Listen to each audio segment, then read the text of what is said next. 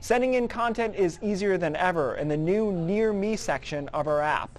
If you send us video, make sure you hold your phone sideways, like a hamburger or anything sideways, so the video fills our TV screen.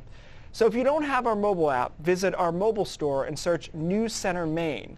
Once that's done, open it up and let the main screen load. Down at the bottom right, you'll see Near Me. Go ahead and click that. Once in Near Me, at the top left, you'll see an orange button that says Share with Us. Click that. Next, choose the photo or video. Name the file, and if you want to tell us more about the file, you can. Give us your name, where you took it, your email address, and click to sign up our daily newsletter. And then click Submit. Two things.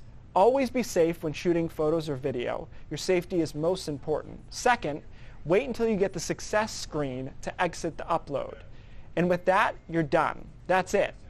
After we publish your pics or video, they can be seen within the map on our Near Me section.